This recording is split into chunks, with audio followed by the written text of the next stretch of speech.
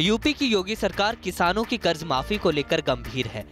चुनाव प्रचार के दौरान प्रधानमंत्री नरेंद्र मोदी और दूसरे बड़े नेताओं ने ऐलान किया था कि राज्य में अगर बीजेपी की सरकार बनती है तो किसानों की ऋण माफ़ी का फैसला कैबिनेट की पहली बैठक में लिया जाएगा।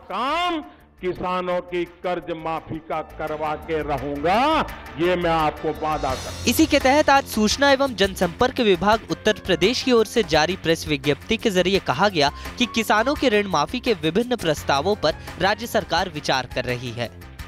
विज्ञप्ति में कहा गया कि मुख्यमंत्री योगी आदित्यनाथ के निर्देशानुसार प्रदेश के वित्त राज्य मंत्री राजेश अग्रवाल, राज्य के सभी लघु और सीमांत किसानों के बैंक को ऋण माफ़ी और बजट तैयार करने के लिए लगातार संबंधित विभागों के वरिष्ठ अधिकारियों के साथ बैठकें कर रहे हैं। राज्य सरकार इस मामले में केंद्र से कर्ज लेने पर भी विचार कर रही है। माननीय मुख्यमंत्री जी, गन्ना किसानों के भुगतान को लेकर के बहुत गंभीर हैं। और लगातार जो संकल्प पत्र में हमने कहा है, वो तमाम विषय बिंदु से पूरे हो रहे संकल्प पत्र में हमने 120 दिन के लिए कहा है कि जो बकाया भुगतान है 120 दिन के अंदर होगा। और जो संकल्प पत्र में कहा है, वो उसका अक्सर से पालन। छोटे और मंझोले किसानों के कर्ज को माफ़ करने के फैसले से राज्य सरकार पर छत्तीस हज़ार करोड़ का बोझ पड़ेगा, यानी राज्य की कुल आमदनी का आठ फ़ीसदी हिस्सा।